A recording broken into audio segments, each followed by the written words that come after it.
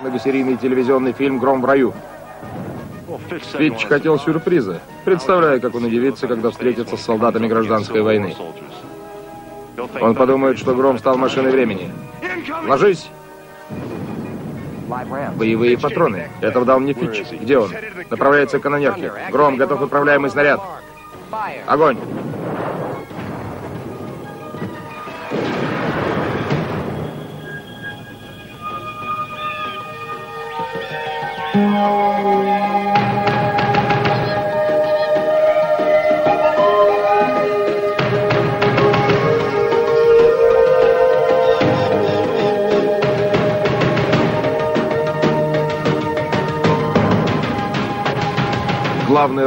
Терри Халк Хоган.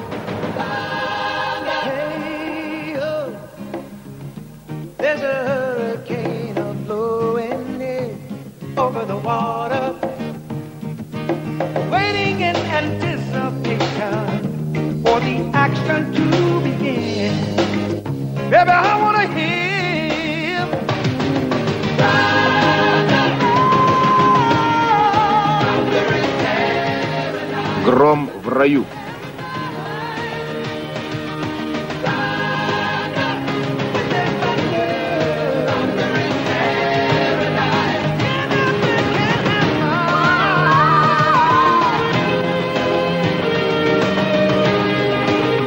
В фильме также снимались Крис Лемон,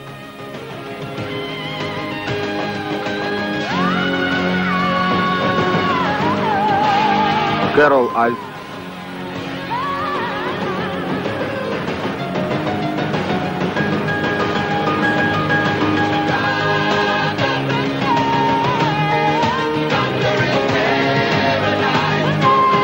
Эшли Горрелл,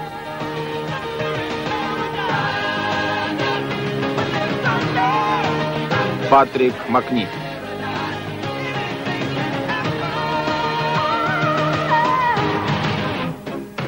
Режиссеры Майкл Берг и Дуглас Шварц. Геттисберг меняет место.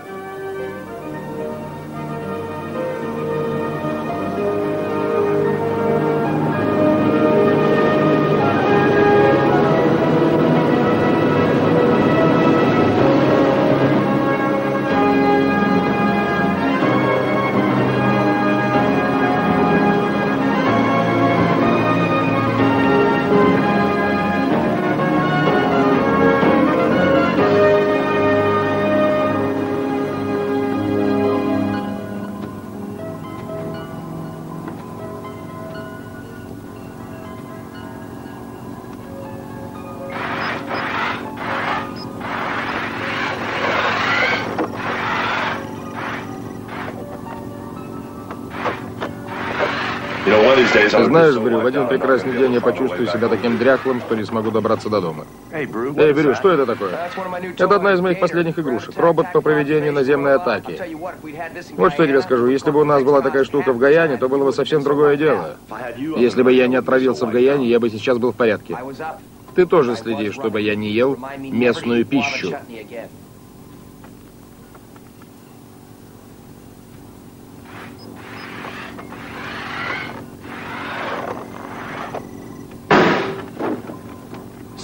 Спенс, это случайно. Не стоит беспокоиться. Ты хочешь, чтобы аппаратура вышла из строя? Я хочу выступить в этой военной игре против Фитча. Он что-то задумал. Кто, Фитч? Ему надо думать о том, как выбраться из бара. Он очень хитер. Он хочет рассчитаться с нами с того времени, как к нему прислали новичков. Спенс, не думай об этом. Это же игра в войну. Игра. Не стоит это принимать так близко к сердцу. Мы попробуем. Если я выведу из строя некоторую узлы, извини.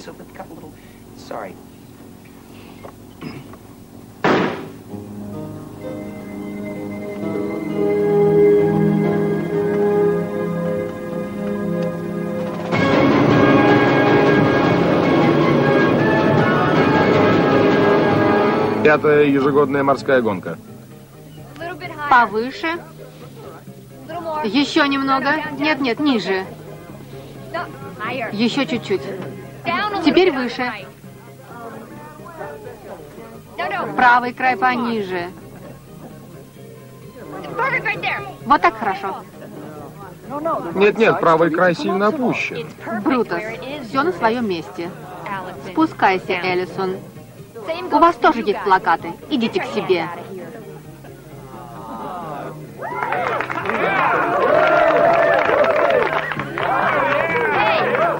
Уходите отсюда. Представление окончено. У генерала Хафдейма есть данные, что вы, ребята, собираетесь выступить против моей 53-й десантной. Давай говорить в открытую, Фич. Ты хочешь нас нанять, чтобы мы воевали на твоей стороне в этой военной игре? Видите ли, в Гондурасе активизировались повстанцы, нам требуется укрепить наши силы на случай непредвиденных обстоятельств. Значит, надо провести учения в войсках. Правильно, дорогая? Правильно. К сожалению, из опытных остались только вы двое. Очень остроумный Фич. Особенно если учесть, что это говорит неудачник, который уволен из рядов военно-морского флота за бездарное командование. К счастью, требования на суше ниже, чем на флоте. Ты ничего не хочешь мне сказать? Стукни его, он плохой дядя. Золотко, твой папа шутит. Он настоящий шут, как и Брубейкер. Им бы в Голливуд. Ты втянул меня еще в одно темное дело. Келли, разве я не предупреждала тебя о коварстве мужчин? Тулони, ты меня об этом предупреждала. Отлично. И если твоя бывшая любовь участвует в морском марафоне, это не значит, что ты не имеешь права на это. Ты не будешь выступать? Келли, ты так долго тренировалась? Вы не понимаете. Я хочу запомниться Рэю как возлюбленная, а не как соперница. Ты считаешь, что соревнование может этому помешать? Именно поэтому мы и расстались. Теперь ты хочешь склеить то, что разбилось. Мы расстались с Рэем, не дав развиться нашим взаимоотношениям. И теперь я хочу начать все сначала. Оживить наши чувства. Болезненные воспоминания. Болезненные воспоминания лучше забыть. Это из одного фильма. Бери пример с Барбарой Стрейзанд и оставь эту историю в прошлом. Келли.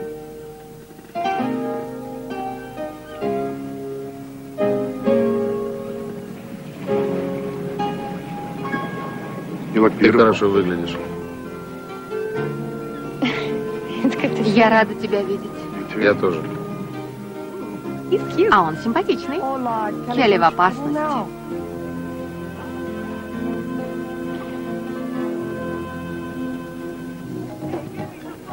Это кедровая отмель. где 15 февраля 1865 года Объединенная армия разбила малочисленную армию бравых конфедератов.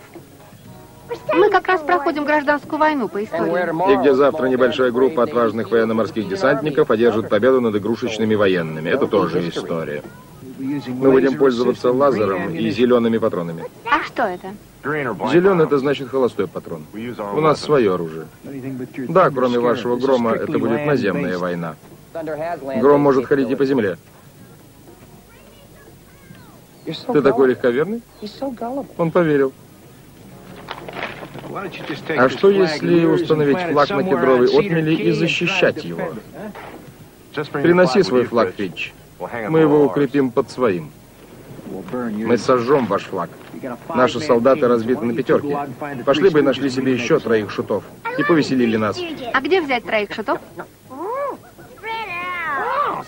Это было бы интересно. Пойдем, манная каша, вперед. Куда? На кедровый отмель.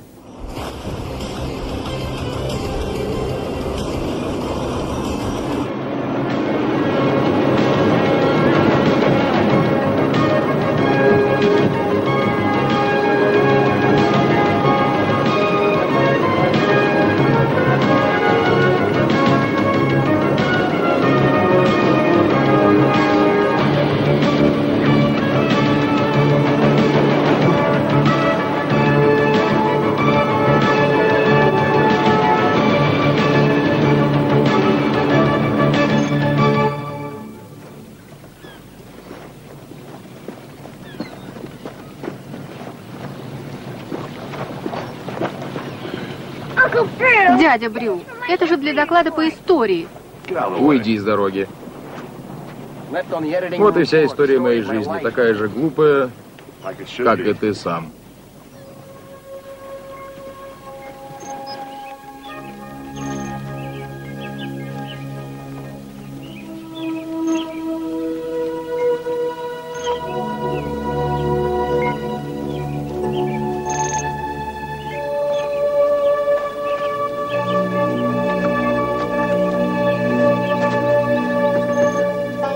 Это прибор для определения местонахождения. Он покажет, где мы находимся в любой точке планеты. И где же ты? Здесь.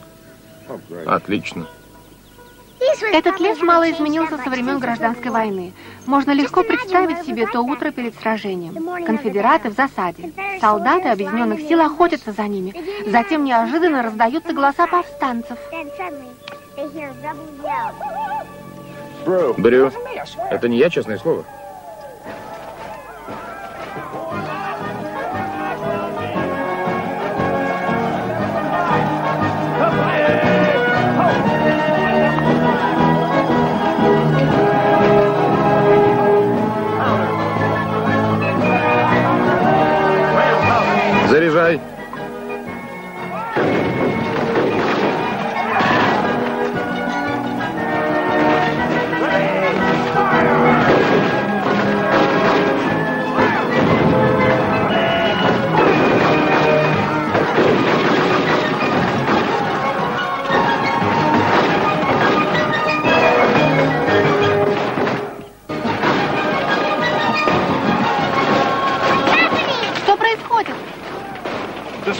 События разворачиваются. К счастью для нас.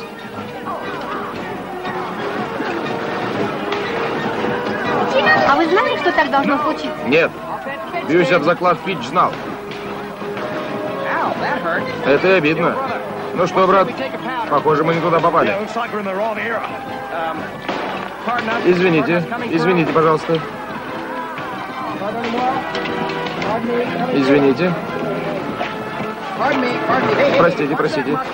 Посмотрите на этот мушкет.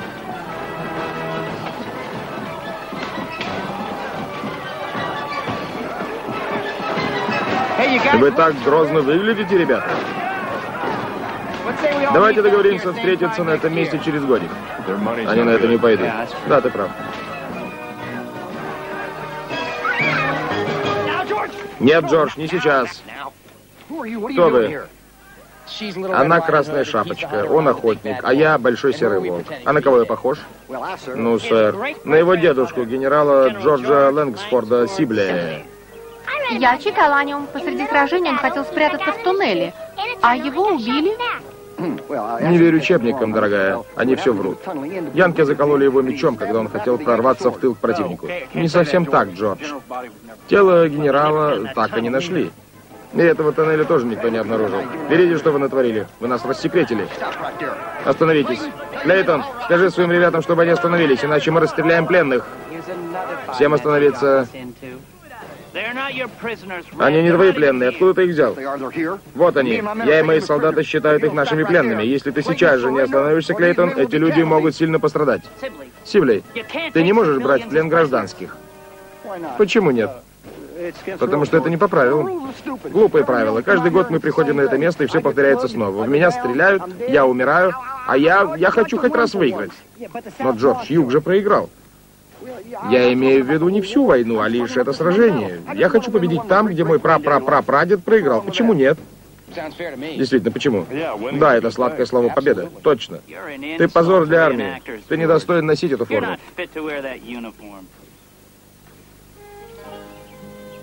Ну хорошо. Тогда возьмите и убейте меня.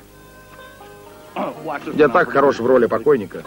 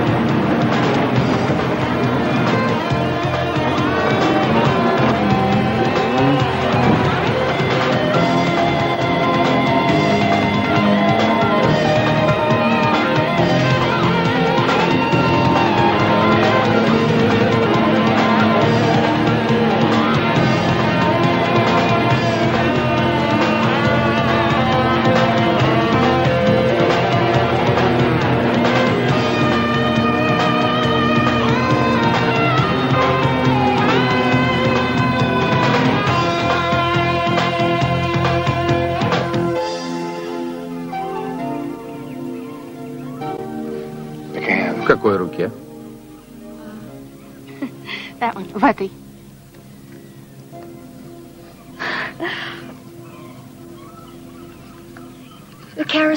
Пикник на пляже Роквей.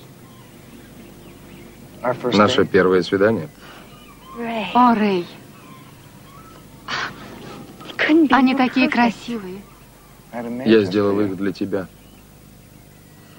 Никогда не забуду тот день. Я тоже его хорошо помню. Старый кабачок, маленький коричневый кувшин.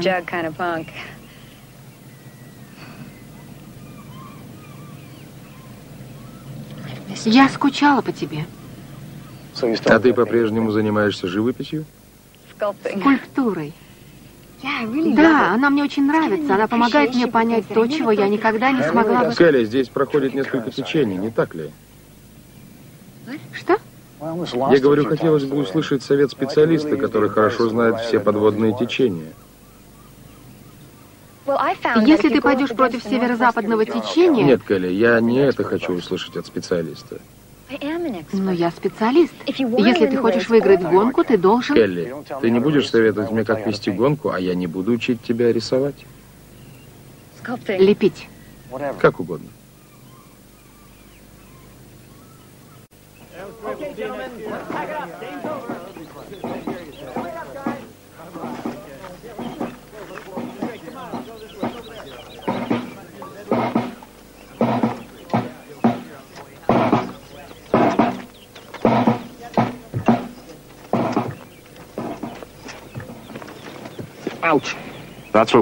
Так поступают проигравшие. Я проигравший. Всегда был им и всегда им буду.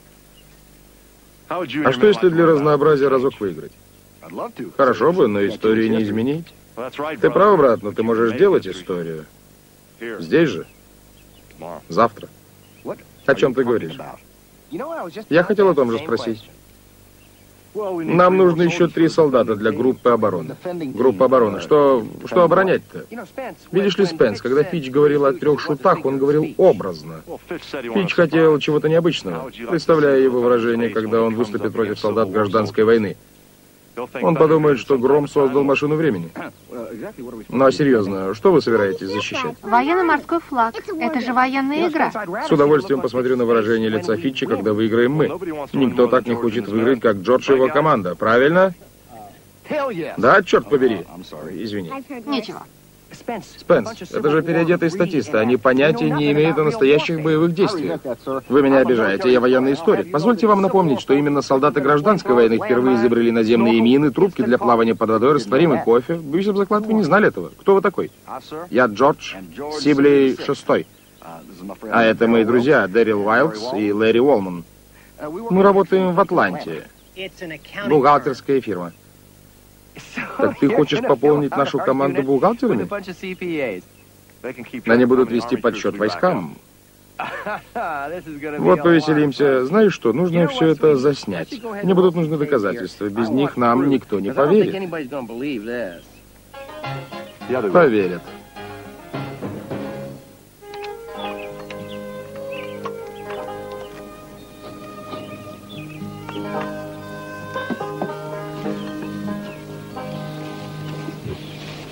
Я правильно завязал? Правильно.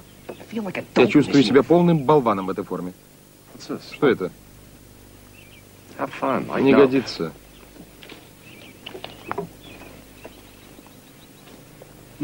Она сломана. Нет, просто ты мертв. Это значит, что ты не можешь стрелять в ответ. Это лазерное устройство. Оно все контролирует. Если тебя застрелили, ты можешь только один раз ожить. А потом оставайся мертвым. Понятно? Я готов, господа. У меня парик, я одет, и со мной имбирное пиво.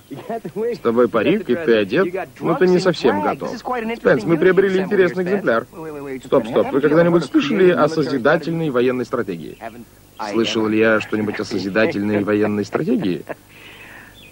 О военной стратегии я знаю больше, чем ты сможешь узнать за всю твою жизнь. Я говорю о творческой военной стратегии. Ты знаешь, Марсель Кларк вышел на поле сражения переодетым в женское платье. И пока голубые мундиры заигрывали с ним, люди окопались в засаде. Мне нравится эта мысль. Фич будет не только побежден, но и унижен. Это не серьезно? Ну почему? Давайте покажем ему, ребята, как кричат повстанцы. Он прав, с этого начинает.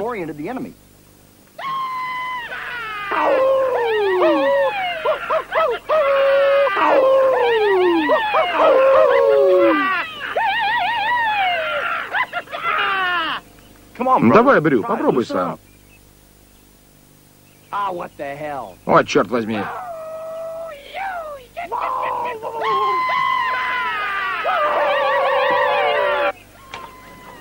Что это? Птицы. Лоурел и Харди уже сдали свои позиции. Ладно, ребята, давайте вперед.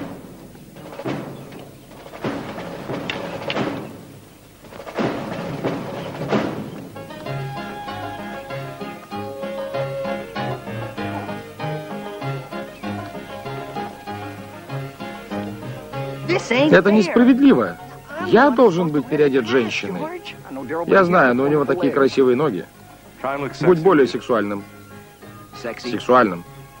Ты хочешь, чтобы я выглядел сексуально? Да, я хочу победить, и они тоже. Не волнуйтесь, когда придет время, я буду выглядеть так сексуально, что Фич сойдет с ума. Джордж, помоги мне. Помоги себе сам.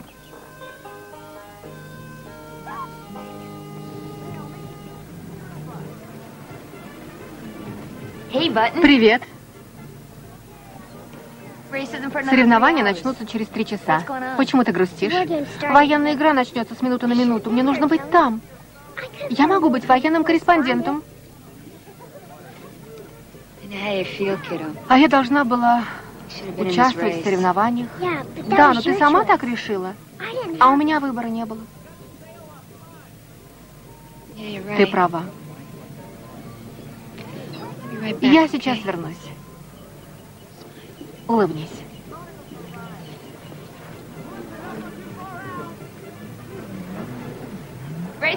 Соревнования через три часа. Брутус, не забудь о гонках.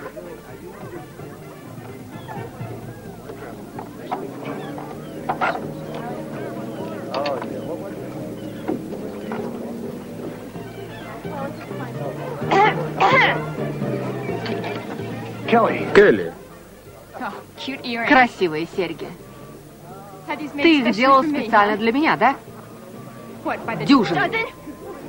Келли, ты не поняла? Наоборот. Я поняла. Туло не права. Эта история должна остаться в прошлом. Ты всегда не любила проигрывать.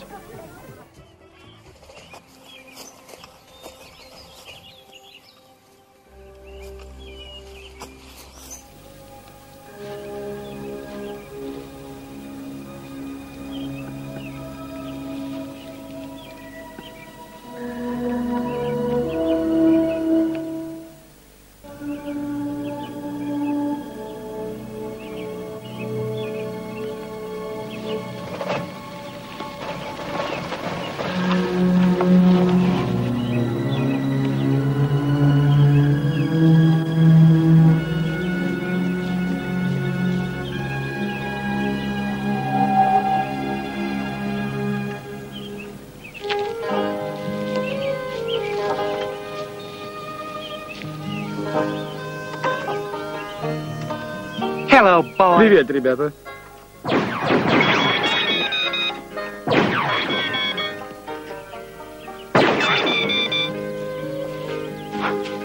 Нельзя недооценивать силу женского обаяния.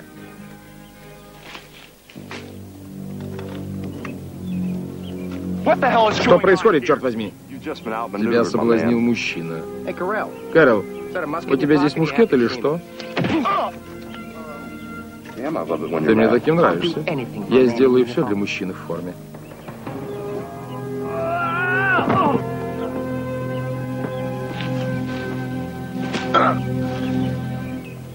Ты убит. И не можешь ничего не сделать, не сказать. С этим закончено. О, Кэрол, обещаю, что не расскажу об этом твоей жене. А, черт. Должен признаться, это было весело. Весело? Это было восхитительно. Я же вам говорил, что это сработает. И сработало. Вы с ребятами проделали большую работу. Примите поздравления. Но помните, что война еще не окончена. Они наступают. Это настоящий обстрел. Ответный огонь.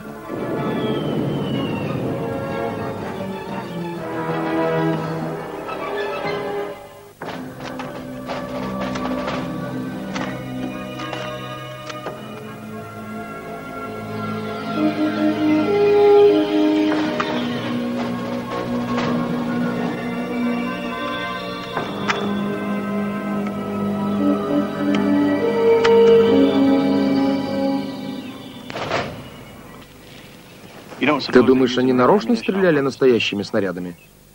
Спенс все выяснит. Если ему не помешает Джордж.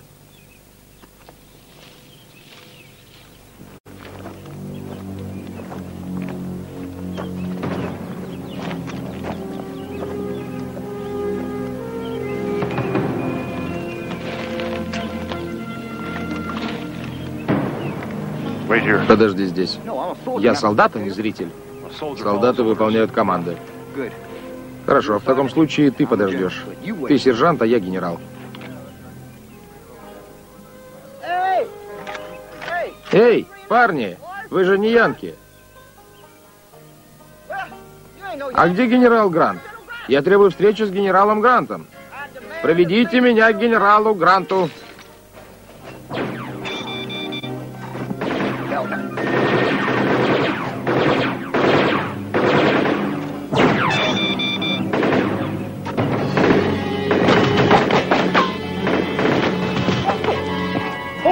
Прекрати стрелять, у тебя боевые патроны. Ты что, убить нас хочешь?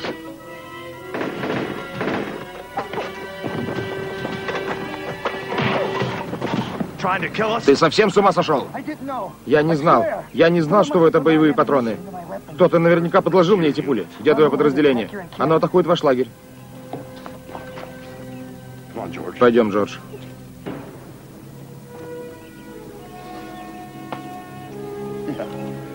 Что ты делаешь?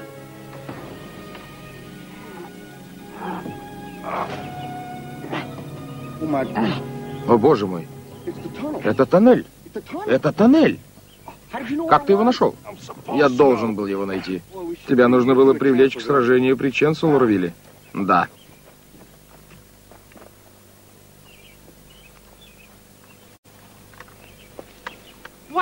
Что это? Займем позиции, как договорились. Лэри, туда.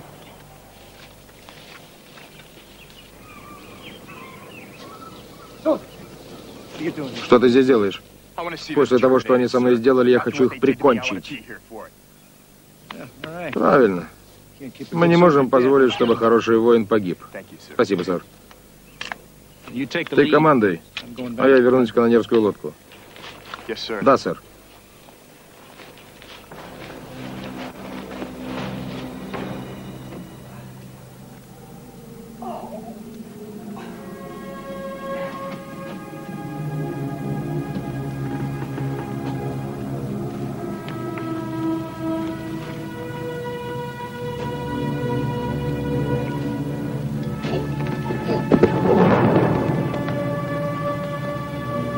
Идем.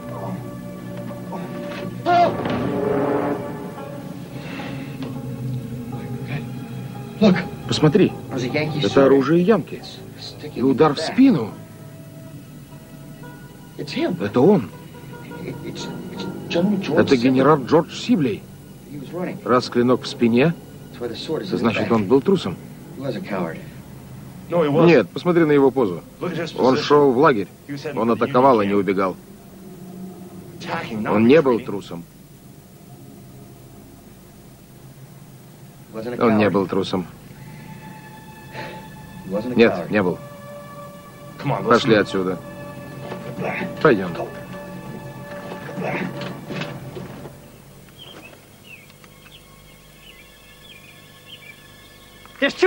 Как же их много? Успокойся. Просто наблюдай. Где Джордж? И Спенс?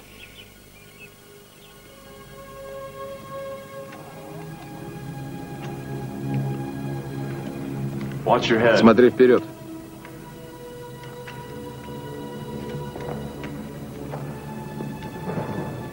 Лагерь должен быть в той стороне.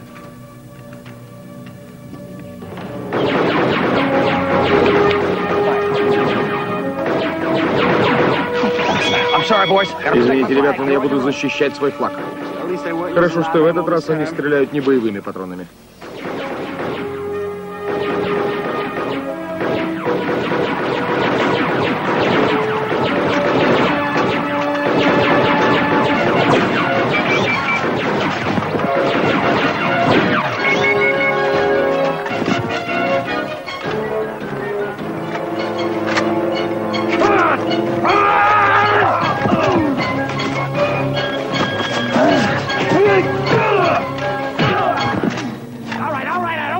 Хорошо, хорошо, ребята, довольно, довольно.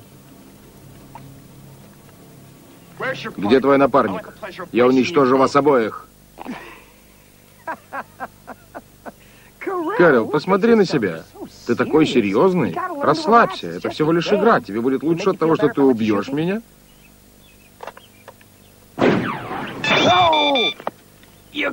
Я у тебя в руках. Ты доволен, не так ли? Нет. Ты делаешь ошибку.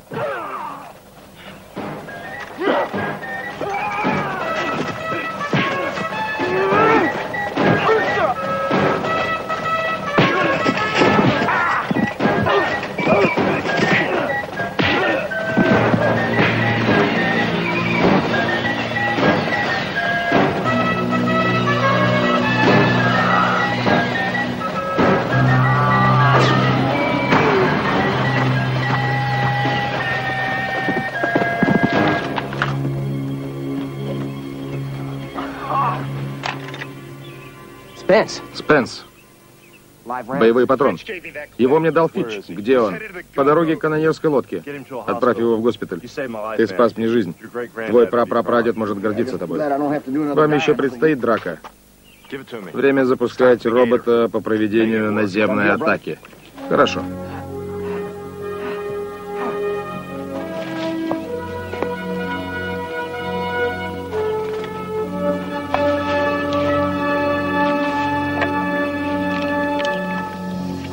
Ну, ты хочешь поиграть с нами в игры? Гром, готов управляемый снаряд по моей команде. Давай. Команду принял.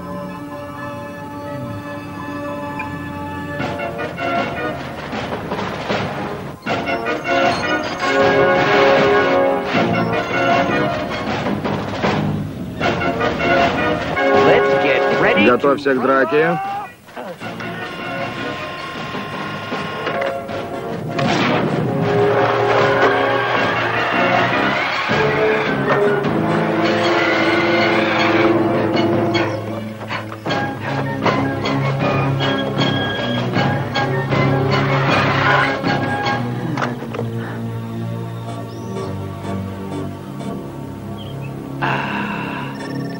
А вот и он. Приготовиться по моей команде огонь.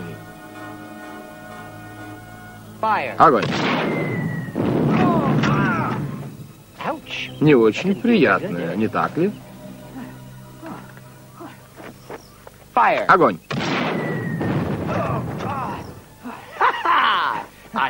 Думаю, у тебя уже крыша поехала, Фич. Давай, вперед! Еще огонь. По тебе, мерзавец, Фич.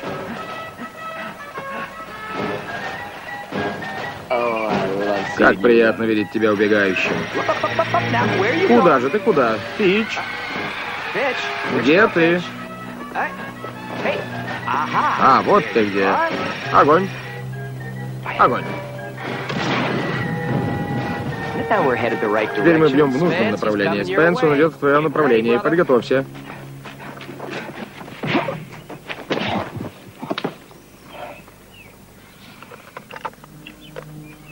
Получи за Карла. Отчего ты так низко пал? Ты проиграл. Убери это, и мы поговорим как мужчина с мужчиной. Ты можешь умереть как человек, Фич? Ты можешь отвечать за свои действия? Не делай этого!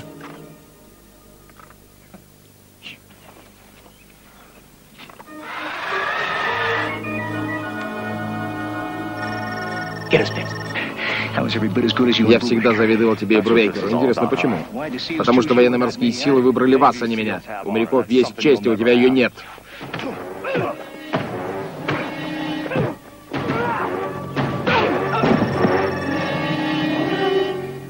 И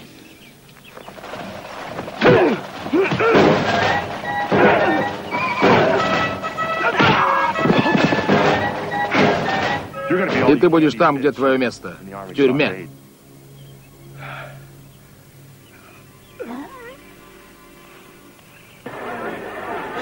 Участники соревнований, займите свои места.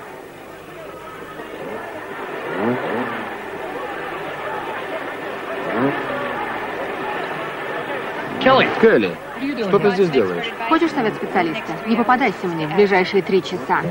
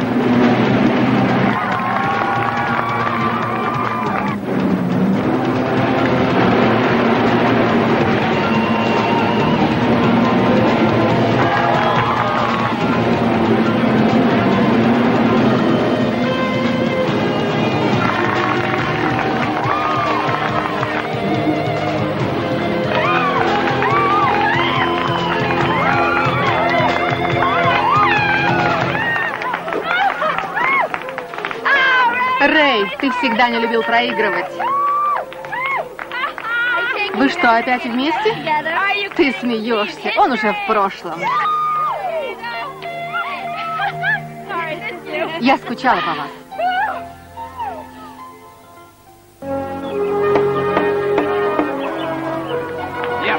У меня тост. За героев и героинь. Пусть для них найдется место в истории, пусть они найдут свое место в ней. Что бы это значило? А, впрочем, какая разница? Будьте здоровы. Будем здоровы. А для генерала Джорджа Лэнсдорфа Сибле пусть место в истории и мое место в будущих играх изменится навсегда.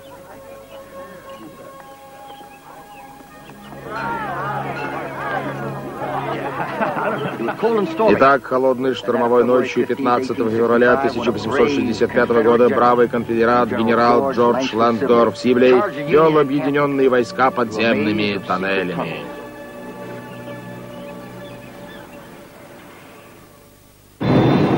В следующей серии вы увидите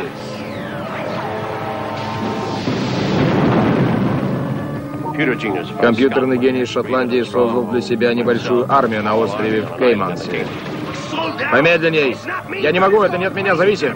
Кром сошел с ума. Испорчен компьютер, мы идем на сверхскорости. Только компьютерный гений может убить компьютерный гений.